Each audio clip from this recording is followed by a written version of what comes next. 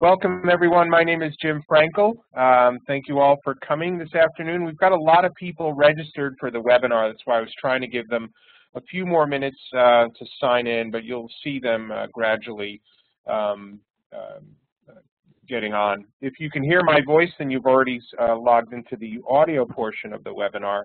Uh, and while this, I might be helping a couple of people who are seem to be having some difficulty uh, get on.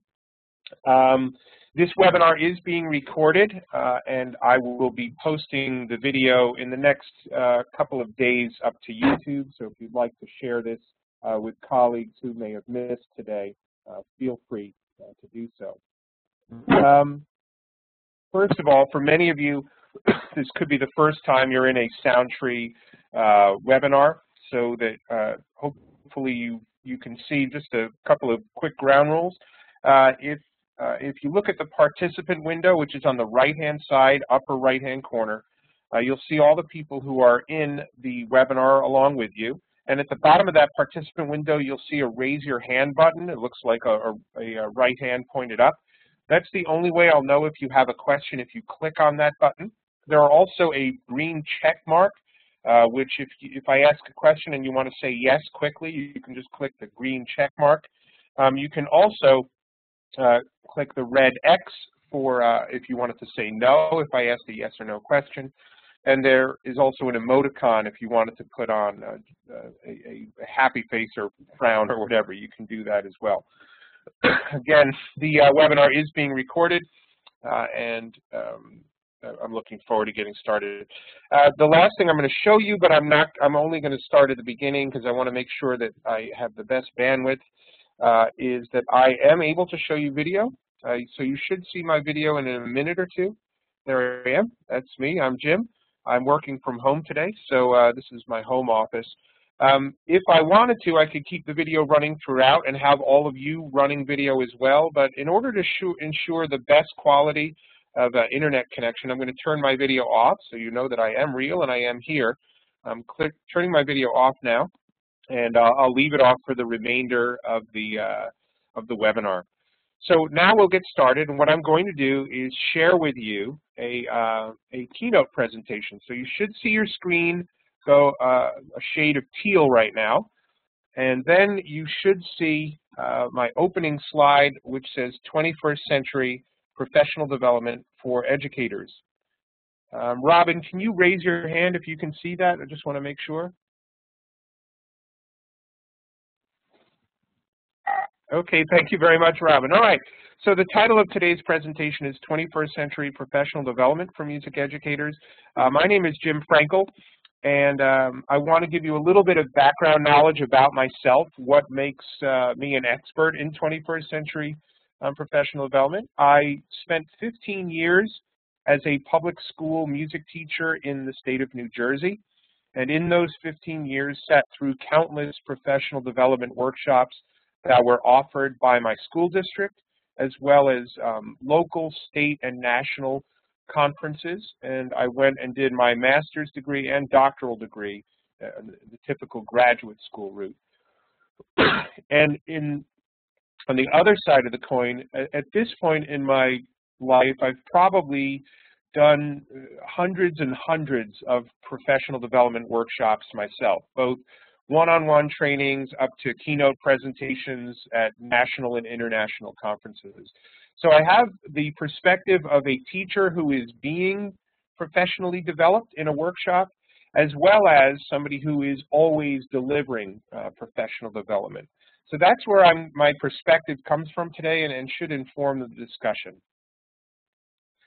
So to provide you with a session overview of what we're going to be speaking about this afternoon, the first thing we're going to take a look at is 20th century professional development models and where we've been as far as, as PD, as I will call it. Then we'll talk about or, or ask the question, what exactly are we talking about when we say 21st century professional development? I'll go over that. Then we're going to talk about advantages and disadvantages of online training right now you're in, in an online training environment.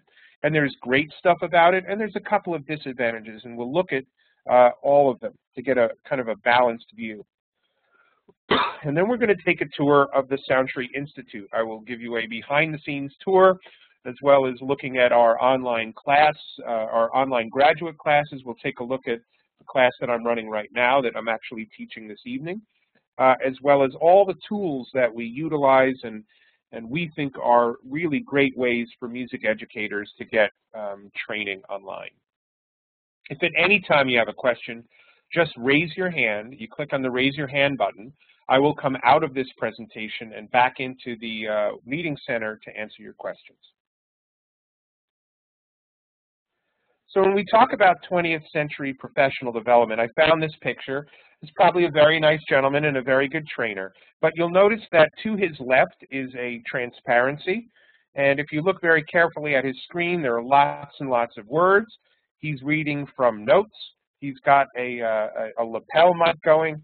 And he's probably going to spend six or to six and a half hours talking to a room full of teachers and this is kind of tongue-in-cheek, who, who may look a little bit like this.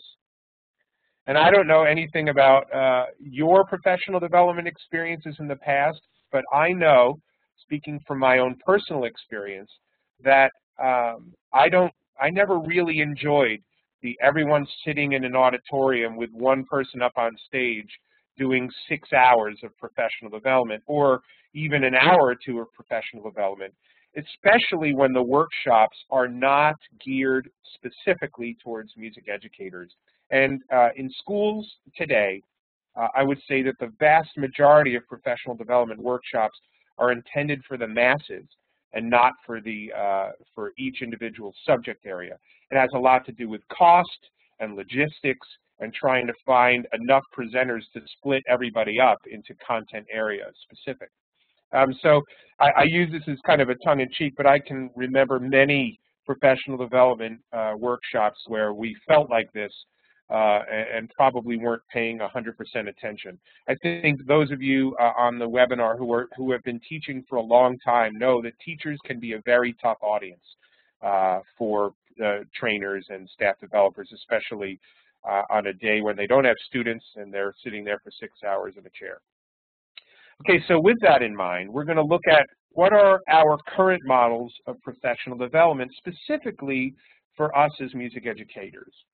And the first one, most common, is that almost every school district in America provides their staff with staff development days, whether they're called superintendent's conference, uh, teacher's conference, whatever they call it. Usually the day before or a couple of days before the school year begins, and then on holidays like Columbus Day, uh, President's Day, Election Day throughout the year, uh, school districts will provide professional development workshops for their staff. I don't think it's too much of a stretch to say that often the topics have little or no relevance to music educators. I can't tell you how many times I went to a bloodborne pathogens training, which, while necessary, when you've been through bloodborne pathogens 15 times in your career, you could probably do the presentation for the presenter. I've also sat through reading uh, workshops, workshops on how to teach reading, workshops on, on best practices in mathematics, and um, all kinds of um, different uh, workshops that I really, I, I would always struggle to figure out why I was there it's not the, the school district's fault per se for offering those. They're trying to find a, a one-size-fits-all, but it, it doesn't always work. There are also one-day content-specific workshops. These are the types of workshops that I do all the time, where a school district will pay for someone like myself or somebody, uh, you know, an expert in a certain field to come to a school and speak for an extended amount of time. Um, the disadvantage to that uh, is that they often, I, I hear from teachers, they kind of, in three hours or two and a half hours into the workshop, their brain shuts down and they basically say, I can't process any more information. This is way too much. Because that trainer, and typically I, I'm guilty of, I'm very guilty of this myself, I'm trying to pack as much information as I can into the hours that I've been provided to make sure that the school district feels like they've gotten their money's worth for my uh, time. Um, so again, while it, it's really great for me to go out and be and, and do those workshops, and I truly enjoy doing them, I often hear from teachers that they're overwhelmed by all of the information that has been imparted. And then um, what usually happens, sorry, what usually happens is that a week or two later, they've, um, they've, they've forgotten a lot of what I've talked about. Um, the third option uh, is attending conferences, whether this is your local state uh, music educators or a county music educator association or a national conference. Um, I have been attending conferences since I graduated high school. Freshman year of college, I started um, attending conferences, and I always found them to be really rewarding. But I think that everyone will agree that conferences are expensive to attend. They might be very worthwhile, but in, in kind of a, an economy where school districts are cutting back and cutting back on reimbursing teachers for travel and for conference expenses, and then that onus is put on the teacher themselves, who has probably their own financial constraints on a teacher's salary. Uh, attending conferences is expensive, and, and it's also difficult to get the release time because in my last couple of years, my school district would say, well, not only can we not pay for your conference, but you're going to have to pay for the sub. Um, so, you know, that, you know, when a school has, district has to pay $100 to put a substitute in your room the whole day, that's another reason for them not allowing you or giving you the release time. Another option is graduate courses, and I've, I've taken, you know, hundreds of credits beyond my uh, bachelor's degree, and I think everyone will agree that graduate courses are often expensive uh, though it's a great way to advance on the salary guide. I will admit that I got my master's degree um, in, in, person, you know, there were personal reasons, but also I looked at the salary guide and saw how much more people were making on the master's step of the guide. So there's definitely incentive um, to go to a graduate course with very expensive outlay of cash, and I don't know too many districts that are paying over 50% reimbursement of tuition. Uh, at my school district, it was $850 a year reimbursement for graduate courses, total. And I went to Teachers College, Columbia University, where that wouldn't even pay for one class. Um, and because music educators, in my opinion, are the busiest people on the planet, many of them are teaching private lessons after school or directing out-of-school ensembles, or they're making music themselves it's often very difficult to fit graduate courses in to an already busy schedule, especially if you're a parent on top of that. And then a way that's become, uh, that's become uh, this is more of a 21st century uh, professional development, but it's, it's, it's become more and more popular of, of late, are, is what are called professional learning networks.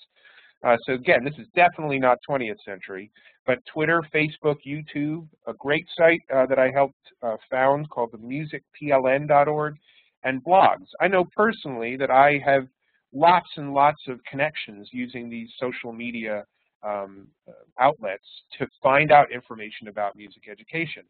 Uh, and while all of them are really good, none of these are, are really good at helping you get you know, a, a clear path to professional development to help you find the exact materials you're looking for. Teachers look, uh, looking for answers and training online, can be, it can be very confusing and time consuming to find relative and effective content. It's not saying that you can't find a great YouTube video here and there or some great advice on Music PLN or, or following people on Twitter, but it's very time consuming to try to get all of those all of the training you need from a wide variety of social media outlets.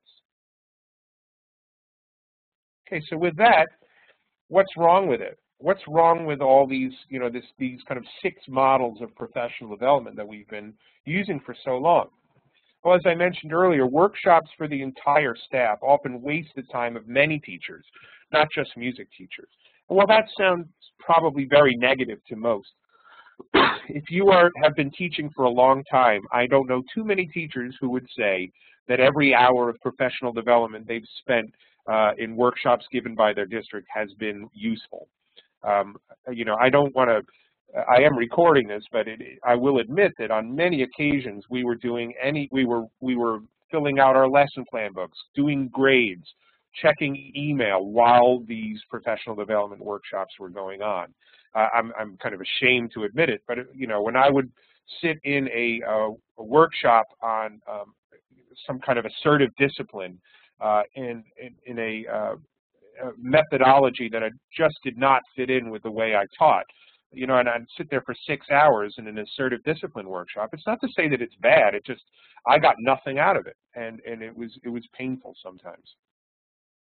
And again, for the districts, it is very difficult to find a one-size-fits-all workshop. It's not their fault.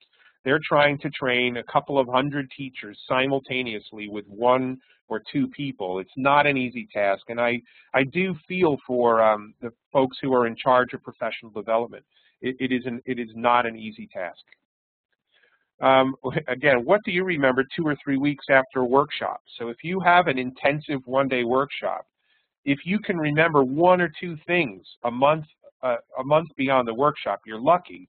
Uh, usually, uh, and, and the workshops that I do, I always record them and send send uh, web links and all that kind of stuff afterwards. But many times in workshops, you don't get that, and it's it's kind of hard to remember. You write it down on your notes and you visit them a couple of weeks later and say, I have no idea what this was about. So unfortunately, uh, especially with adult learning theory, it's a use it or lose it type of thing. If, if, if you're not doing it the next day in your classroom, oftentimes uh, you forget it, and it's just, uh, it's just part of uh, being a teacher and an adult.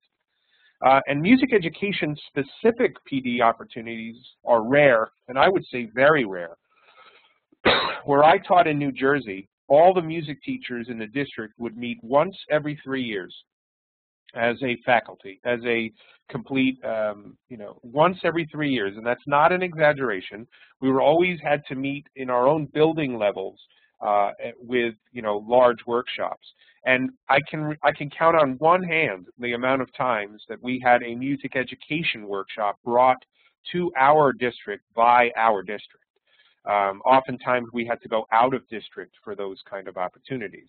So professional development for educators, especially those who have had their master's degree for a while and they're just relying on the PD that's being offered by their school district, you know, once or twice a year, uh, three times maximum is not really an effective model for professional development. And I put this here, it is absolutely a fact that getting professional development is expensive. Um, it doesn't always have to be, and that's what I'm going to talk to you about today.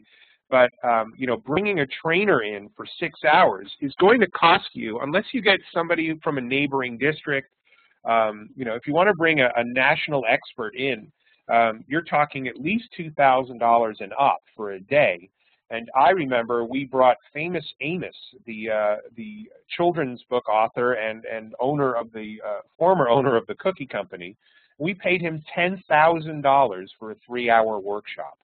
So um, it, it can be very, very expensive to bring live people in. And it's not because the trainers are trying to gouge uh, the districts. It's just that travel uh, in 2011 is very expensive. And so to pay those costs plus the day rate of the presenter can be almost exorbitant and, and out of reach. And so that's why many times a district will not because the minute they, a district says, okay, music teachers, here's your content-specific PD, then the art teachers and the phys ed teachers and the language teachers and the math teachers all want their own PD, and that can make it exponentially more expensive for a district to put on an effective day of professional development. Again, I'm not blaming the districts. it, it is a very um, difficult situation. So at this point, what I'm going to do is break out of this presentation and go back into the meeting center. So I'm, I'm going to stop sharing my presentation and I'm going to ask you some questions. So you will see on the bottom right corner of your meeting center, I'm going to open this poll. And so this question, just to give, I want to get some uh, understanding of who's on the call. I've opened up a question, and it is, are you currently a member of the Soundtree Institute? So what I'd like you to do is click one of those answers, yes or no, and I can see that uh, um, many of you are answering. We've got seven people haven't started yet, so if you can put in your answer, I'll just uh, open the poll for another couple of seconds. Five more people. So again, just click yes or no.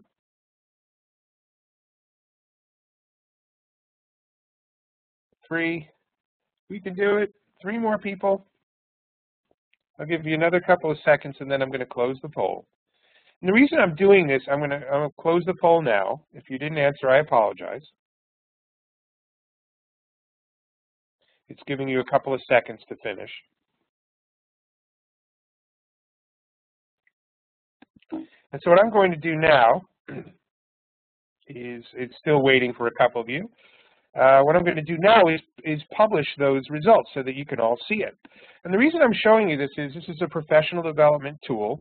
Um, you should be able to see the individual poll, poll resort, uh, results, and it's even got your names uh, listed as whether you're a member or not. So we have a couple of members uh, that are here today. Most of you are not. So it's kind of interesting, easy to see, um, you know, how these polls work. I'm not going to share all the results with you, but I'm going to open up the second question now.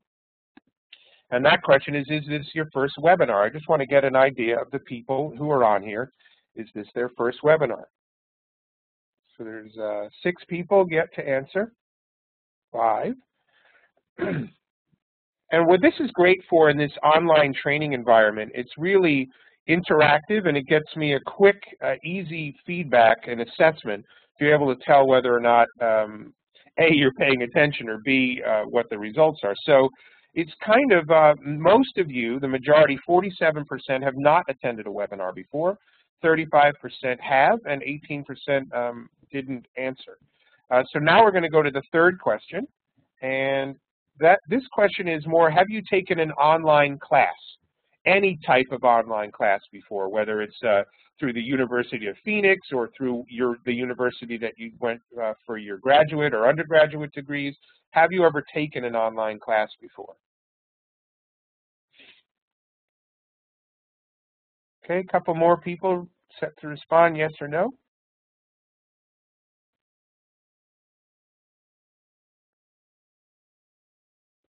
All right, so I'm going to close that hole. It is 44% have taken an online class, 39% haven't.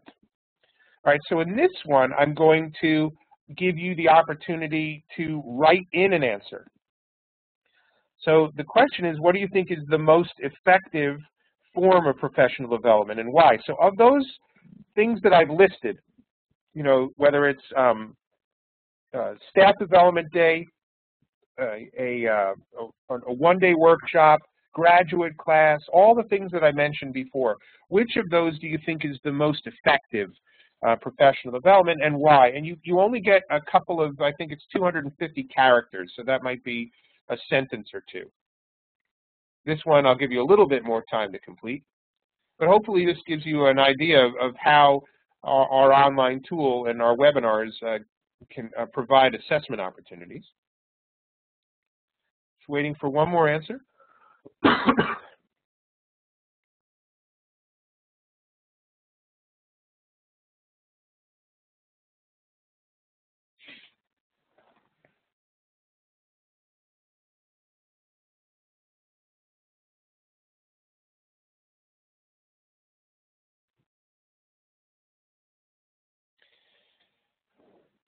Okay, there's just three more people.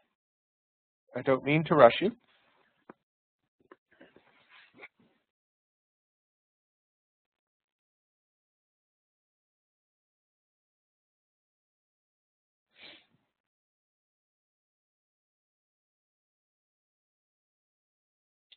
Okay, almost done. Just a couple more seconds.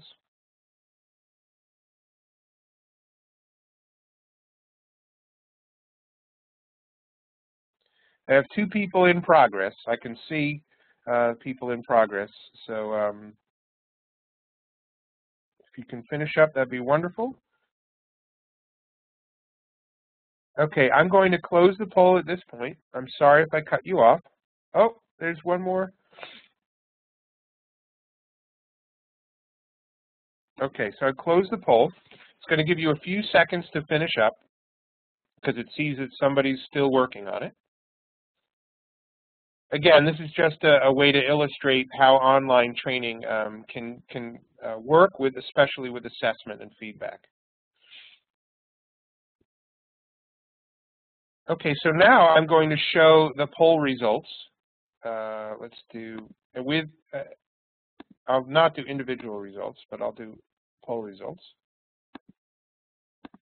Or I will do it. Um, okay, so a lot of people um, have, uh, there's a wide variety of answers, which is kind of cool. Content-specific conferences, graduate classes, uh, collaboration via YouTube, online PD, mentoring, depends on the subject and the activities, very good answer. Graduate class, I guess conferences, any type that allows interaction between the presenters and the partner, uh, participants, that's the way I learn best. Conferences, but after today I may say webinars, very good. Applied classes, so there's lots of answers here. Very good. And somebody's face-to-face, -face, and I, I, I, I hear that a lot. So I'm going to stop sharing now and go in back into my presentation. Um, so here we go. I just wanted to get a kind of a, a benchmark of where everyone is. So I'm going back into my presentation, and we are going to pick up right from here. So what am I talking about with 21st century development, professional development? Thank you so much for those responses, because some of it will inform these uh, the next couple of statements. To me, I feel that unfortunately many teachers are stuck in the 20th century model of PD, uh, and meaning that they've got to wait a long time uh, be, for a district to offer them content specific, or there's an expense in traveling um, to a uh, conference site or workshop. It's not to say that those are bad, it's just the expense behind them. With every state requiring PD hours beyond a bachelor's degree to maintain our teaching licensure, teachers are a captive audience and have had little choice in how to get their PD hours in the past. I know that in my district, uh, I taught in uh, suburban uh, northern New Jersey, um, they said uh, for New Jersey, every teacher had to have 100 hours every five years of professional development. And my district literally said, don't worry, you know, don't freak out. We're all we're going to give you the 20 hours a year. Don't worry. And you know, that's all well and good, and I'm really pleased that my district did that for me. That of those 20 hours, however, I'd say 18 of them were useless. And I would rather spend my time getting trained on something that I can use in my classroom. That's my whole point about professional development. Um, and, and I believe never more so that, that professional development has never been more important. And that's specifically, and this might raise a few hackles, but it's okay, I'd like you to think about it. I, I believe that music educators are constantly having to prove our relevancy. Whether or not we need to is a different story but to, especially with music programs being cut, music educators really need to ensure our relevancy. And in order to do that, we need 24-7 access to quality, effective, and affordable content-specific training. Not necessarily passive um, kind of searching for stuff, but we need we need people to tell us we need it there all the time. And, and you know, I don't think that's too much to ask for. So how, you might say. Um, first of all, let me state very clearly that I believe that technology is only a tool to help make a job or task easier to complete. So when I say the how is obviously, you know, technology, it's because technology can help facilitate and help correct many of the issues that I believe 20th century PD has and that is through online professional development like you're experiencing right now. I know this, I did a little research, and distance learning has been around since 1728. I know that sounds crazy. Obviously, that's uh, pre-internet and pre-Al Gore for that matter. Uh, but 1728 is when the first correspondence course um, uh, happened in Europe. Um, so people have been doing this kind of distance learning thing for a long time. Online learning began in 1996, the very first online university opened. Today, 98% of U.S. universities offer online classes. Uh, I, I, don't know who the 2% are that don't, but almost every single university offers online classes. And many universities are now offering completely online degrees. A perfect example is Boston University, who has a completely online doctorate, as well as many uh, fantastic uh, um, universities, Duquesne University, IUPUI, I can keep going and going and going, that have online degrees, which have, may have some in-person requirements, but also, you know, most of it or the majority of it is online. Um, there's just there's a lot out there. A couple of terms to define when we speak about online professional development is an LMS, also known as a learning management system. And many of you have taken online classes or distance learning type things, are, probably familiar with things like ClassWeb, Blackboard, Moodle, Haiku. There are many, many others. Um, but these are four that I could name off the top of my head. And what these do is allow instructors to post syllabi and post discussion questions and post grades and assignments and all those types of things. It makes an online classroom possible uh, with one of these, uh, you know, third-party applications. But many universities are uh, have have large contracts with these types of companies. Uh, video conferencing has been around for a while now, but I can't tell you how many conferences I've been to where I've seen people Skyping or iChatting as part of their presentation to bring in either a student or an expert from the other side of the country who either couldn't afford to travel or whose schedule didn't permit it. Another term to understand is what is synchronous learning versus asynchronous learning.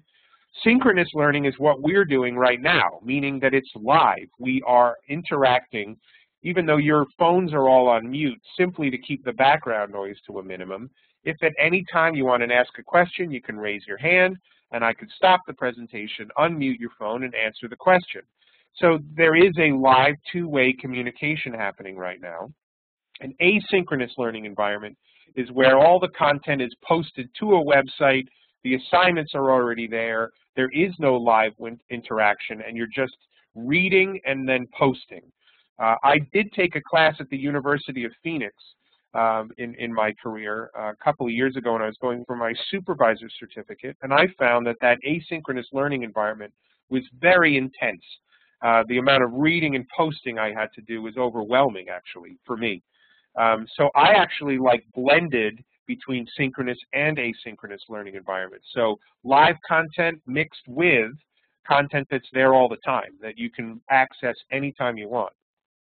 And last but not least, uh, live webinars, which is what we're doing right now. The word webinar is still not recognized by Microsoft Word as a word.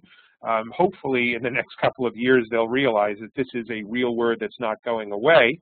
Um, but a webinar is a seminar that's held on the web, uh, and that's what we're doing right now.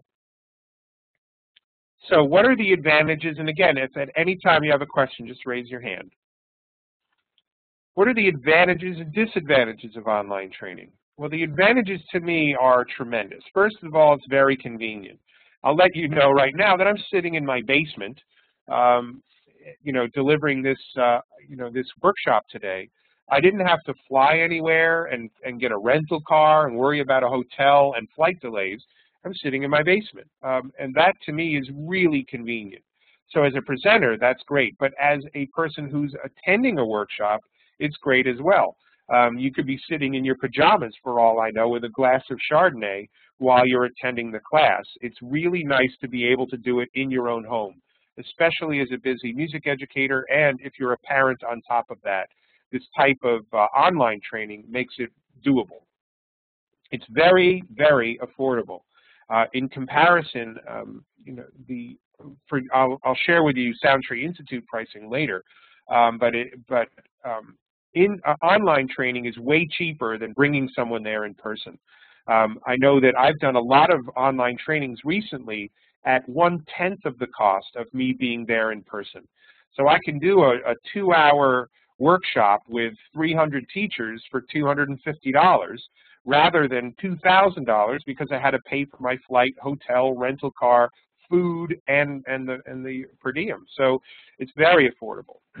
The content in, in an online training environment is always archived and available 24 hours a day, seven days a week. So this webinar is being recorded and it will be available to you anytime hereafter. Live webinars, uh, live presentations, unless they're being videotaped, are kind of ethereal. It's you were in the room and then it's over and then you have to you only have what's in your mind's eye to remember. Uh, again, I say that a combination of synchronous and asynchronous learning makes an online training environment really advantageous because you can go back later and look at the content that's there, but you can also have that one-on-one -on -one or presenter um, participant interaction. And last but not least, minimal equipment requirements. I am sitting here today with just my laptop.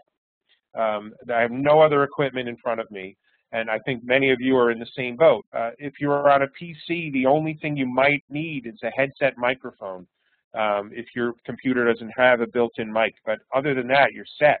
You have everything you need to do online training. So it's not all rosy. What are the disadvantages? Well, there is a slight learning curve to get comfortable with the technology. Um, I'm teaching an online TIME course right now. In the first class, there were some bumps with people trying to figure out how do I get into the learning management system? How do I get onto the webinar? I never got that email. So there is a slight learning curve, but it's not a big one. Um, but it's but there is one there. I agree, as, as, as a lifetime educator, it is not exactly the same as being in the same room with the instructor, no doubt about it. And sometimes that's a good thing.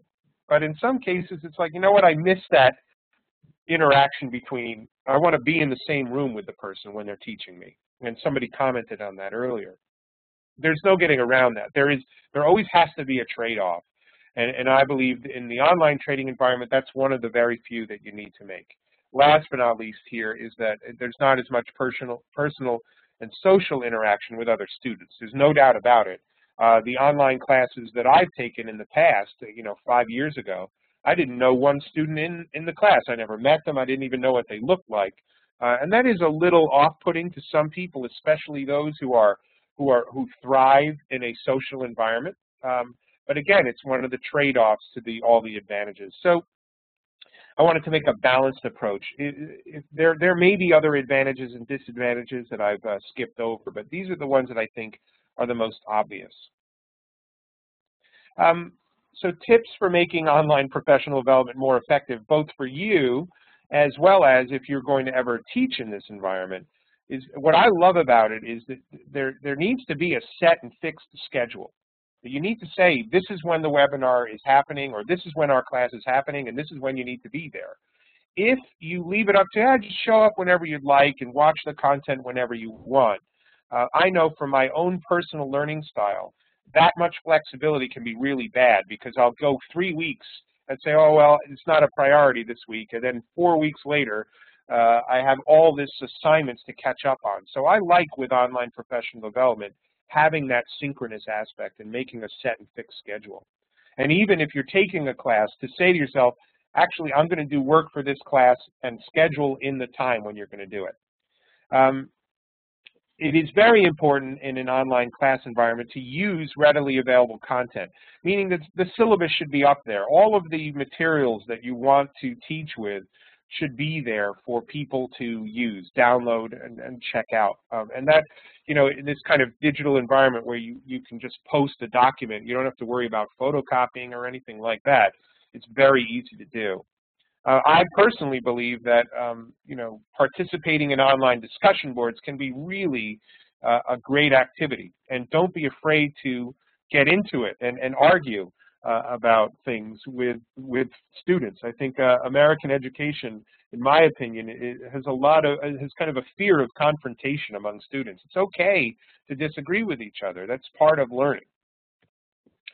And then um, you should take advantage of all the archive content for reinforcement. So, uh, for example, um, if, if you just watched a webinar on how to do X in Finale, and then a couple of weeks later you forget, take advantage. Go back and watch that video and fast forward to the part where the instructor showed you. It's really easy to do. And last but not least, try to connect with the other students and instructors outside of the class via email, um, you know, or, or, or Skyping or anything like that. It's really, uh, it makes your uh, online learning and professional development a lot better. And most presenters, by the way, um, enjoy getting email questions after a workshop. They enjoy answering them. Okay, so at this point, what I'm going to do is um, put my money where my mouth is and show you what was all of the stuff that I've just discussed is what was in my mind when when I uh, created the Soundtree Institute with with the other members of the Soundtree staff. Um, so we're gonna we're gonna dive into it right now. I'm going to come out of this uh, and go back into the meeting center. By the way, while I'm at this um, section, did anybody have any questions? All right, so I'm going to share with you now um, my um, web browser. So you should see your screen go teal again, and then you'll see the Soundtree Institute. By the way, uh, if you have not been to this site yet, we've just added a new feature called Take a Tour.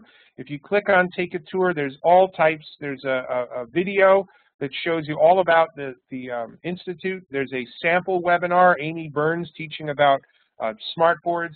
There are all of our upcoming classes uh, that you can check, and you can even click to sample a class. You can go in and try out what an online class looks like. These are our 10-hour um, and graduate level classes, and if you would like to enroll, there it is. But for now, since I'm already a member, um, I'm going to uh, log in. So I'm logged in, and this is what the Institute looks like. Uh, the news that is right up here is the latest content that's been added to the site.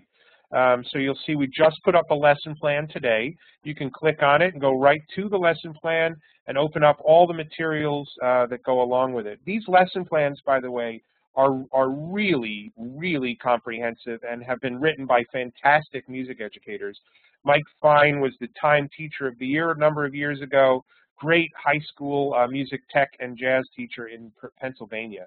So um, check out those lesson plans. They're way uh, more um, fleshed out than the lesson plans we had on our previous site. Um, there's also a kind of what webinars, what's new content here, so you can say, oh, check out the Finding Funds webinar, and you can also see what upcoming classes there are. So if you're interested in a class, you simply click on Enroll Now, and it brings you uh, to this page, and you say, would you like to enroll in this free course? I say yes, I continue, and so now I've enrolled in the Film Scoring with Mixcraft class that's happening in a couple of weeks. Um, so then to, to go straight through here, there's a courses. These are the upcoming courses. And if you're interested, you can click on it. Here's a course that I'm teaching. You can get the class description. Uh, you can see when it starts. So it's uh, December 7th. This is next Wednesday uh, from 5 to 6 o'clock. It's free. And you can enroll in it by clicking on the green checkbox. We also have classes that are fee-based. Um, they're four-hour classes. So there's a smartboard class happening next week. If you're not already registered, it's $99 for four hours. And, um, you know, I strongly recommend checking those courses out. And you can see your schedule. So here are all the classes that I'm scheduled to either take that I've taken in the past or that I'm actually teaching. So that's kind of a, a cool uh, thing to see your own personal schedule. And again, you can open it up to see what exactly is being covered in this class and who is the instructor. So that's courses. We'll be adding more and more courses. We're kind of winding down our fall season, and uh, we're going to be ramping up our winter season very shortly. Under the resources, we've got quite a few articles. Again, these articles, many of which have been written just for the Institute, um, are written by great folks. So you can go to, here's one by Robin Hodson, uh, notation software talking about Finale and Sibelius and why you should be considering using them.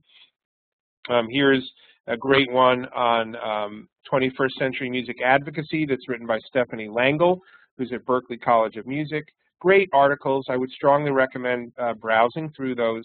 Also, here are all the lesson plans, so you can check out these lesson plans. Most of them have been written specifically for the Institute. Some are from our previous site. By the way, if you have questions like what is on this page, you can always click on the question mark and read the description of what, what is actually on this page. So here's one that I wrote called Charlie Chaplin Meets Mr. Foley. You can view the resource and all of the uh, web links and um, materials that are required are already there. Uh, there's a print resources page. This one doesn't have as many as previous ones, uh, but there are a lot of um, Finale and Sibelius uh, quick tips. There's our GEC3 user manual, uh, which a lot of people uh, find really um, uh, helpful that it's there as well as how to log into our webinars, how to get all the, you know, an instruction page on, on everything that we do when it comes to webinars. Last but not least, we've, we've put up a couple of links as well as our, our, our um, Twitter feed. uh, hopefully you'll find those useful. Under the Connect menu, there is an educator forum that we're still building. It will, it will be up very soon. I know it's been saying that for a while, but that'll have all kinds of discussion threads. Um, then there's our Twitter, our Facebook account, our YouTube channel. But this is a page that I really like. It's our support page. Um, so there is a support video that you can watch here, but there's also a live support link. And if you click on this link, if you're using the Institute or if you're an Institute member but need help on a piece of software that you purchase from us, you can click on the live support link and ask our tech support department questions, and they can answer them. And if you're on a PC, they can actually take over your computer and help you navigate through the software. Um, that's a PC-only uh, option. It's just purely uh, the Mac hasn't been written, uh, the Mac software hasn't been written for it yet. There's also sales assistance and um, uh, frequently asked questions. So how do I change my password? You click on it, there's exactly how to do it. So that's the support page. We're really proud of that. I think it's great. But the most um, salient thing uh, for you as, uh, as a Soundtree Institute member uh, is, you know, if you attend the live classes by using that courses feature, that's one thing. But if you've missed them, you can always come back here to the media player, click on the appropriate channel. So let's say um, music notation software, and then view all of the videos and webinars that we've done on music notation. So here's one that was done recently by Robin Hodson on the in introduction to Sibelius. If we go to music production, here's uh, one on Sonar that was done by Jody Underwood, our Southern Accounts Manager. So you can expand this um, uh, to be able uh, to see it full screen. Um, it's, I believe these are just great resources, and there's uh, probably over 100 um, videos at this point on our media player. And there are more being added every single week. There's also one little section here called Soundtree Shorts. These are videos that I created. Um, they're my little video tutorials, and it's things like how to, um, they're, they're meant to be short, under five-minute um, presentations on how to do things with certain software. So that's, uh, in a nutshell, um, the Soundtree Institute uh, and, and all of the offerings uh, that are on it. Um, I, when I go back into the presentation, I'll share with you the customization and pricing that we can do with the Institute. But we're really proud of this tool. We've been building it, and every day, and there are a couple of members on the webinar today, every day we're tweaking it, we're adding things. There's a feedback uh, channel so people can say, hey, I don't like this, or I really like this. So we tweak the site literally every single day uh, to improve it. So it's getting better and better and better. Um, so I'm going to go back into the meeting center to see, uh, I'll pause for a moment to see if there are any questions at this point. Again, you can just raise your hand. There's a little raise your hand button.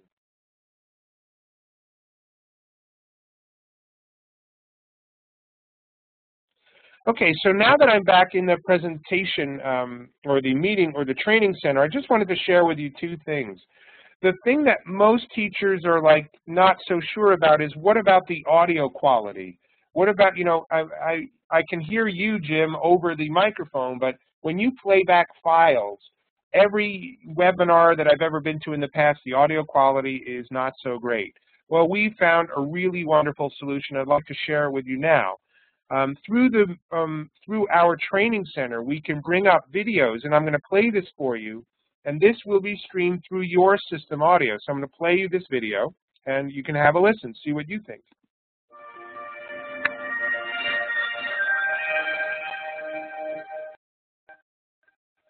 Compact, convenient, and cutting edge. Nano Series 2. Three unique USB MIDI controllers, each offering an impressive array of features in a durable, portable, and affordable package.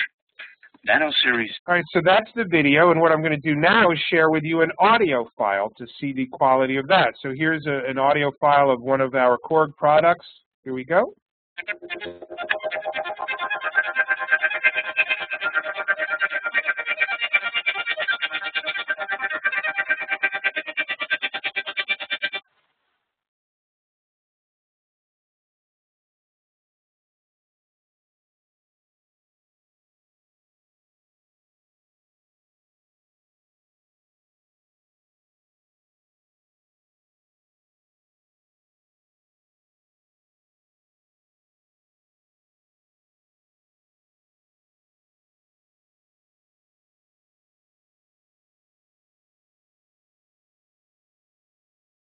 Okay, so I was told that uh, my microphone was picking it up, so you probably got a little bit of a delay. So if I mute my microphone, I'm hoping uh, that you were able to hear the uh, audio without that delay. I apologize.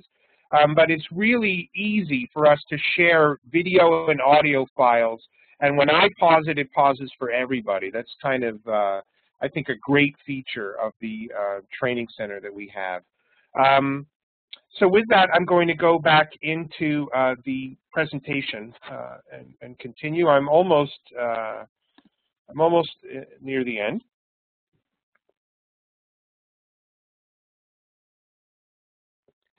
Okay, so um, here are the features that I mentioned, but just to go over them again, every single week we do a free webinar and we post tutorials, short little tutorials. That's part of a Soundtree Institute membership. Um, this past October, we did the MEDOS conference. MEDOS stands for Music Education and Technology Online Summit, uh, where we had uh, the keynote speaker was Lucy Green from the University of London, and she joined us in the same tool that we're in now, and it was like she was in the same room as us. Uh, and I'm really pleased to announce, and I'm hoping that you can all put this aside on your calendar, on Martin Luther King Day, which is a traditional staff development day, um, we are going to be hosting another Meadows conference, this one focused completely on fostering creativity in the music classroom. Our keynote speaker will be Scott Watson, who is the author of Unlocking Creativity with Technology um, for music educators. He's a fantastic resource. And we have four teachers from around the country who will share best practices of how they foster um, creativity in their classrooms. That's going to be on Monday. I believe it's January 21st. It's Martin Luther King Day. Uh, and that is free to any Soundtree Institute member. And if you can't make it during the time that it's held, you can always go back and watch the video later. We also offer four and 10 hour courses, and these are Act 48 approved. So if you're in Pennsylvania, that's Act 48. And for those, for every other state, these are, um, you can get a certificate from us uh, for professional development hours. And in almost every single state, those certificates qualify as proof of professional development hours. Those courses are fee-based, but they're far more intensive. They're smaller, and you can get a lot out of them. Again, they're very inexpensive, but I show you that later. Uh, our graduate courses that we offer are through the University of the Arts, and we um, offer TIME classes. Every single TIME course we are offering online uh, for graduate credit. Again, I mentioned the PD hours. Our media player, I think, is great. Spent a, we spent a lot of time coding that to make it easy to use. As I already showed you, the articles, lesson plans, print resources, and links, I believe, are really useful, as well as our online technical support. So now, uh, we've taken the closer look at SoundtreeInstitute.com. Um, let's go into the options. Um, First of all, customized training. If you want any, uh, you name the presenter. If you want them to do a presentation for you or your staff, if you use the Soundtree Institute as the portal, the cost will be a fraction of what it would be to actually send them there. So we work, uh, you know, you, you name the trainer, we'll work with them to use our portal to deliver training. Obviously, we can also do half day, full day, break it up over a number of days, do it, uh, you know, two hours every month um, on a specific software title or hardware device. We uh, at Soundtree can customize any type of training for you at a budget that'll work for you. Um, we also can, and we are doing this for one school district, is we can make a custom TIME course TIME, if you're not familiar, is the Technology Institute for Music Educators, or Education, and they are the kind of um, uh, certifying body for technology in music ed. Just like Orff and Kodály have certifications, TIME is the music technology certification. And we've done this for a school district to say, you know what, we want only our teachers to be in on this TIME course.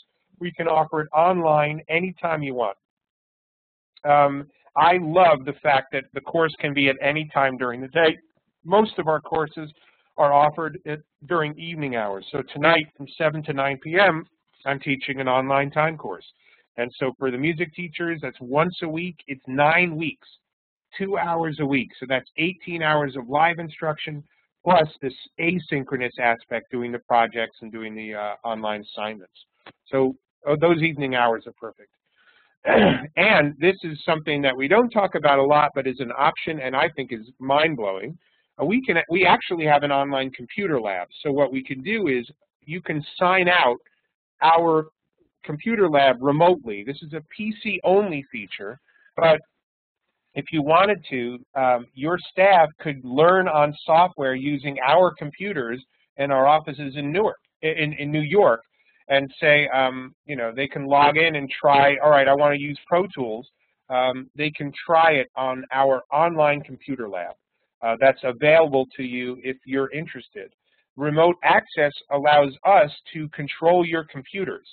Um, so if you're having a software configuration problem, you through the Soundtree Institute, we can help you, um, you know, solve those. And there are online tech support people waiting to do that type of thing. We have breakout rooms. So if you wanted to do a workshop and then for an hour break out into smaller groups, we did that during the Meadows conference. You can, we can have as many breakout rooms as you want, and they can have their own little private webinars. And at the end of a certain amount of time, we would all go and join back in the main room. Uh, I think that's a great option, and it worked really well at Meadows uh, this past October. So, how much does all this cost? Um, it's $49.95 a year for an institute membership, and that gets you all of those features. To me, the 52 hours of webinars that are that are um, available for PD credit to me is is more than worth the expense, um, rather than traveling to a conference. So we do now two online conferences a year, and that $49.95 covers your admission to both of those, as well as all the webinars and resources. Uh, if you want, we do discounts. So if you say, oh, my whole school district wants to, all the music teachers in the district would like a group discount, you can always, um, if you go on the Soundtree Institute um, page, there's a way to contact us. We are more than happy to discuss uh, discounted pricing when you're talking about bulk memberships. Um, the four-hour classes are $99, so it's $25 an hour. And in my my uh, thought process is I challenge you to find any instruction for $25 an hour. It's it's nearly impossible. I know that a half-hour piano lesson nowadays is about 30 bucks for a half an hour. So for four hours, $99, uh, and you don't have to leave your home or travel to do it, I think is a wonderful opportunity, but that's only available to Soundtree Institute members. 10-hour classes, again, use that same model, $25 an hour for a 10-hour class, only with an annual subscription. And our graduate courses, three graduate credits are, in my opinion, the cheapest available um, from a, a, reputable main university. So University of the Arts has been around a long time. They're a fantastic uh, university to work with. It's $925 plus their special student fee, which they tack on makes it a total of under $1,000 for three graduate credits. And again, it's 18 hours of live instruction, and then about, you know, the, the remaining uh, four, you know, the 22 hours or so is built into the amount of time it takes you to work on the projects and the assignments. So with that, I, I, are there any questions? I'm going to come out of my presentation and go into the meeting center or the training center. Any questions at all?